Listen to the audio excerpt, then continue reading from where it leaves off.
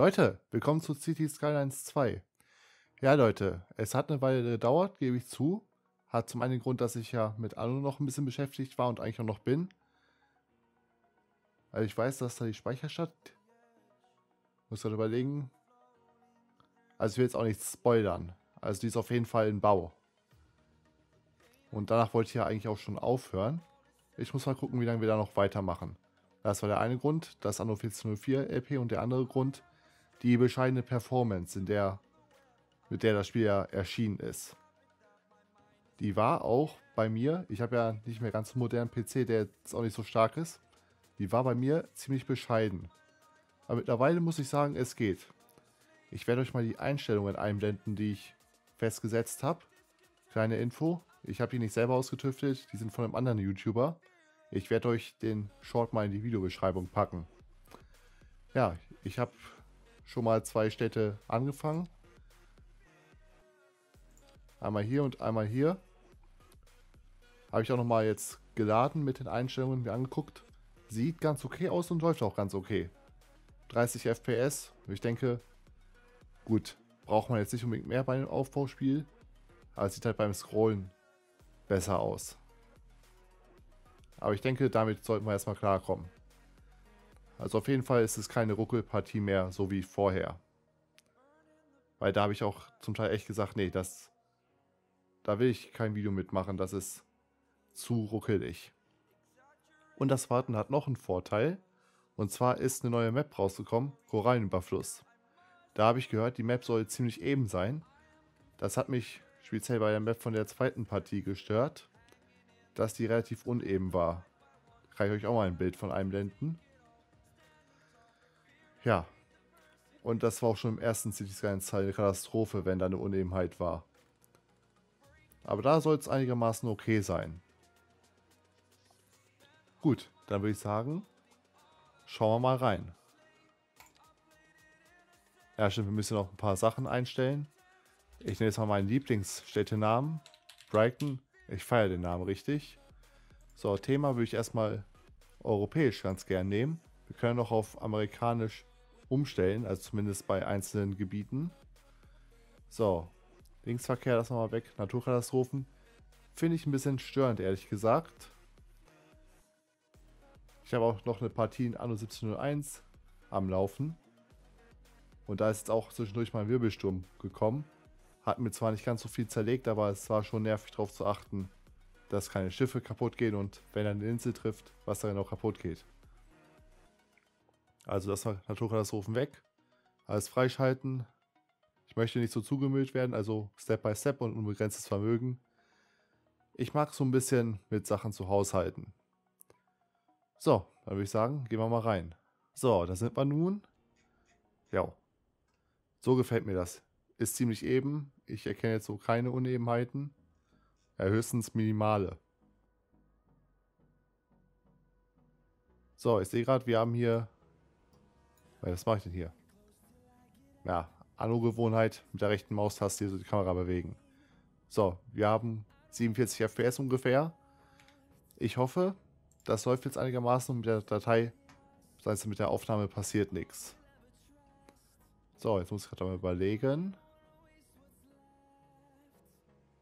Als erstes, wo wir uns ja kümmern müssen, ist Strom und Wasser.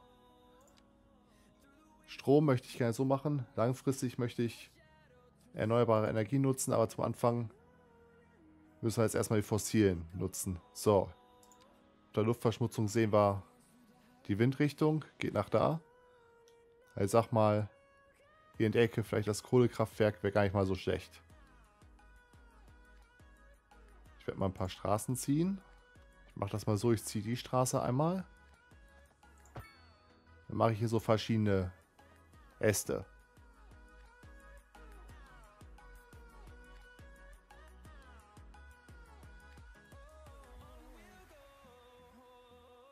So, dann setze ich hier einmal das Kohlekraftwerk hin. Ja, da haben wir ein bisschen zu engmaschig gebaut. Gut, macht nichts. Machen wir den Straßenzug einmal weg.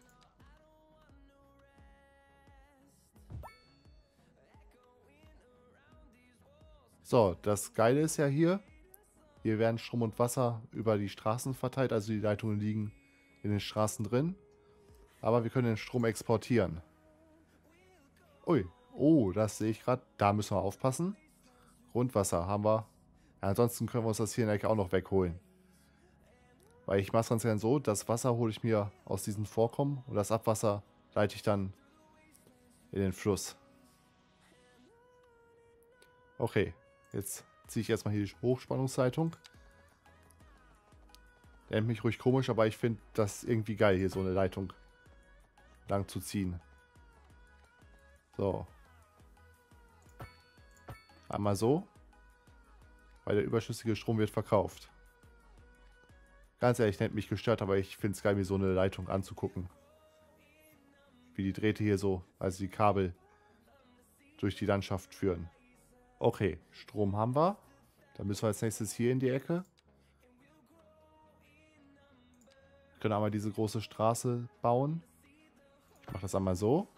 Ich muss ja sagen, ich wäre ein bisschen skeptisch, als ich das gehört habe, dass die Verteilung hier über Straßen läuft. Aber so muss ich sagen, ist das ganz angenehm. Im ersten Teil müsste ich jetzt noch eine Hochspannungsleitung ziehen. Das fände ich dann nicht mehr ganz so geil. Hochspannungsleitung für nur ein Gebäude. Okay, wir haben Strom, wir haben Wasser. Dann nehme ich mir hier nochmal so eine Hauptstraße.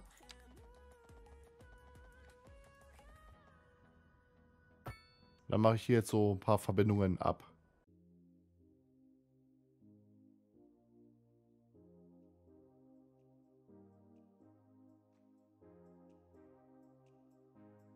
So, und ich würde ganz gerne die Straße noch upgraden. Einmal zack. Jetzt haben wir jetzt zwar so einen hässlichen Knick hier drin, aber ich denke, das ist verschmerzbar. Hier mache ich den Kreisverkehr hin. Mal schauen, wie lange das reicht. Aber wenn unsere Stadt noch so klein ist, sollte das eigentlich kein Problem darstellen. So, die Industrieabgase werden weggeblasen, das ist gut aber auf den Lärm müssen wir ja auch noch aufpassen. So, würde ich sagen, ziehe ich auch noch meine Straße lang. Und dann knallen wir hier die ersten Wohngebiete rein. Ich würde sagen, auf der gegenüberliegenden Seite mache ich schon mal hier die Stränge für Gewerbe. Ich würde jetzt einfach so gerade in die Hauptstraße einmünden lassen.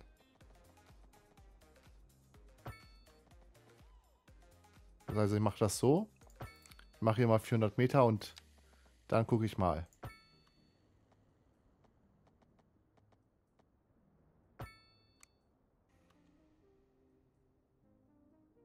Okay, hier ist jetzt ein Knick drin. Lassen wir so.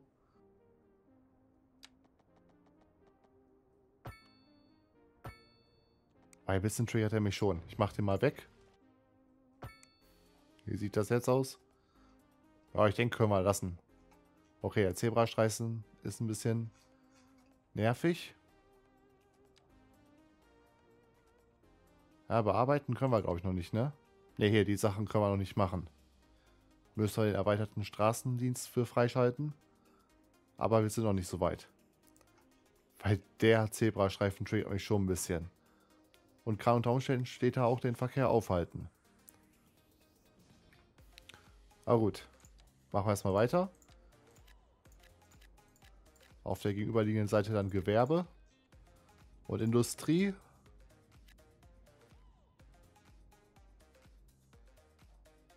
Ja, ich will doch noch ein bisschen weiter Straßen machen. Am besten ohne die Masten zu zerstören. Ja, so ist gut. Weißt du was, ich mache die Leitung direkt unterirdisch. Ich mache direkt auf dem ganzen Stück nach unten. Dann können wir die auch schön gerade durchziehen. So, wir haben Gebiete ausgewiesen. Y-Industrie fehlt noch. Heißt halt, wenn wir hier Industrie machen, dürfen wir halt das Grundwasservorkommen nicht mehr verwenden, weil das Wasser dann kontaminiert ist. Ein Wort möchte ich noch zum Stromsystem verlieren. Ich finde das geil, dass sie das jetzt reingebracht haben. Das hier, also es gibt einmal Niedrigstrom und hey, Niederspannung und Hochspannung heißt das. Dass man bei beiden Leitungen nur eine Leist bestimmte Leistung halt. Oh Mann. Ich krieg wieder keinen Satz auf die Kette. Mein Gott, schlimm. Also, dass jede Leitung nur eine gewisse Leistung hat. Und man da so ein bisschen planen muss. Also ich kann hier maximal 40 Watt an die gesamte Stadt abgeben. Und wenn es einen Bezirk gibt, wo nichts mehr ankommt, müsste ich dann ein Umspannwerk hinbauen. Und damit der Hochspannungsleitung hin. Also, dass man da jetzt auch so ein bisschen drauf achten muss, finde ich cool. So, dann würde ich mal sagen, lassen wir laufen. So, die ersten Gebiete entstehen schon. Moment. Ah, Budget kann ich noch nicht, ne? Nee. Kann ich nicht. Aber müsste gleich soweit sein. Bei Strom können wir erstmal drosseln. Oh, Abwasser habe ich vergessen. Okay, machen wir das noch schnell. Ja, Fließrichtung ist entscheidend.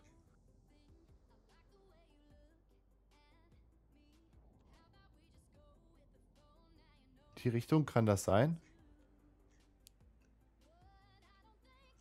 Ich krieg die Pfeile irgendwie nicht richtig gelesen.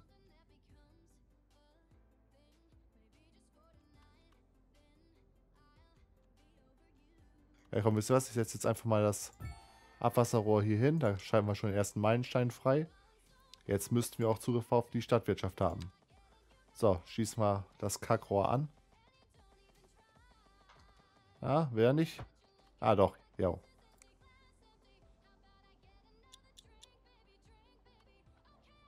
Gut. Straßenanbindung brauchen wir auch nicht. Das ist gut.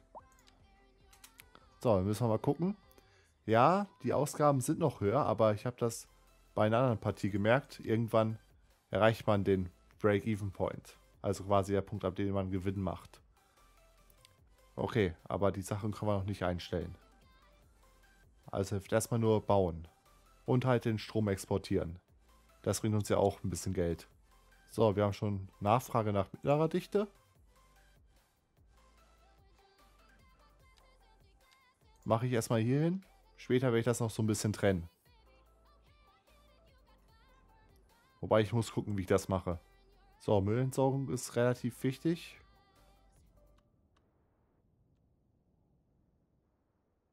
Da würde ich hier in die Ecke gehen. Aber es, auch das ist ja keine Dauerlösung. Den Müll einfach nur irgendwo hinzukippen.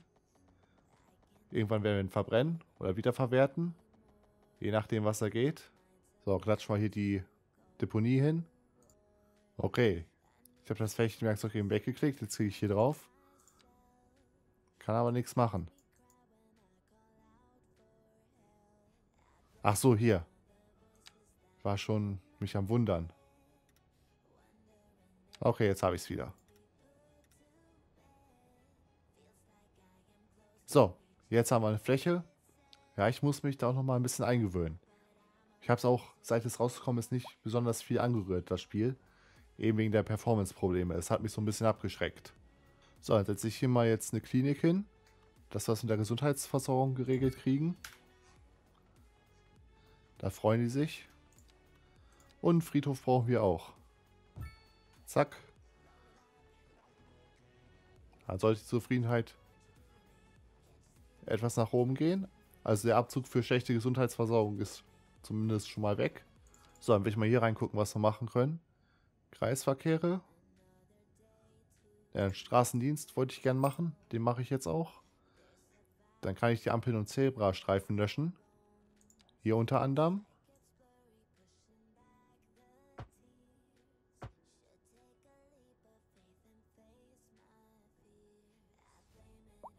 So, hier sind... Moment. Ja, hier sind sie jetzt auch weg. Ach, und ein Kreuzung möchte ich auch gern weghaben. Wobei, hier können die vielleicht erstmal bleiben. Ja komm, hier lasse ich die erstmal. Weil hier machen die, glaube ich, schon eher Sinn. Aber die Ampeln, die mache ich weg.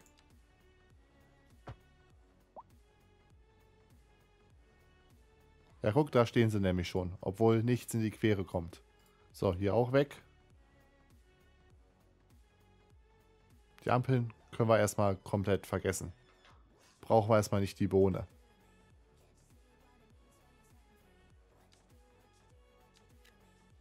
Ups. Nicht gut. Einmal wieder neu einstellen. Gut, die werden nicht abgerissen. So, da fahren schon die ersten LKWs ins Industriegebiet. Die verteilen sich jetzt von der Straße hier auf die Äste.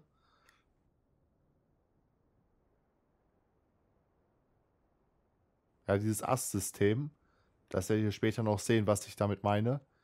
Also in die Richtung geht das. Es gibt eine Hauptstraße, dann eine Hauptstraße runter quasi und dann Nebenstraßen. Früher habe ich das so gemacht. Ich habe einfach so einen Block genommen und dann quasi drum herum gebaut. Also ist so kreisförmig gewachsen. Aber das ist in City Skylines, glaube ich, nicht so gut. Ja, man muss dran denken, dass der Verkehr so ein bisschen verteilt werden will. Ich will mal gerade gucken, wie es mit dem Strom jetzt aussieht. Okay, die Hochspannungsleitung, die ja erstmal für den Export zuständig ist, ist noch lange nicht am Limit. Und mit der Niedrigspannung, wie sieht es damit aus? Hier wird eingespeist. Ah, da war noch ein bisschen Puffer. Und was ich gefeiert habe, als ich das zum ersten Mal bemerkt habe, die Häuser haben hier Hausnummern. Also es gibt Straßennamen, die sind ja, glaube ich, irgendwann im ersten Teil dazugekommen. Dann haben wir noch Hausnummern. Also das fand ich echt geil, muss ich sagen. Will schon mal gucken, was ich als nächstes mache. Wie ist denn die Parkplatzsituation, okay? Reicht aber noch. Ich glaube, Wasseraufbereitung ist das nächste, was Sinn macht. Es gab doch beim Wasserrohr Upgrades. Die Frage ist, mache ich das oder mache ich, warte ich, bis die Aufbereitungsanlage freigeschaltet ist? Ich glaube, ich warte. Ja, Leute, dann würde ich auch schon sagen, ich danke fürs Zuschauen bei der ersten Folge City Skylines 2. Ich bin mittlerweile optimistisch. Ich war so ein bisschen zögerlich wegen der Performance, aber mittlerweile macht die ganz guten Eindruck und an sich, rein mechanisch, ist das auch ein geiles Spiel. Ich hab Bock. Ich sage danke fürs Zuschauen. Ich bin raus. Ciao.